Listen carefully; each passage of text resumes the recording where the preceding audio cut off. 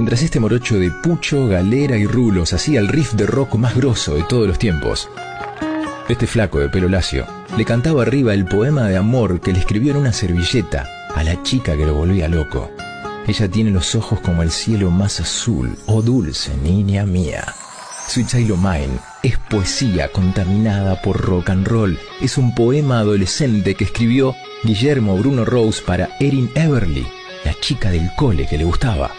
Dicen que un día Slash, jugando con su guitarra, punteó lo que para él era música de circo antigua. Axel lo escuchó y comenzó a cantar arriba el poema de su papelito. ¡Qué basura es esta! dijo Slash. Sin darse cuenta, muchachos, hicieron la canción de rock que no envejece más, Sweet Child Mine, Guns N' Roses.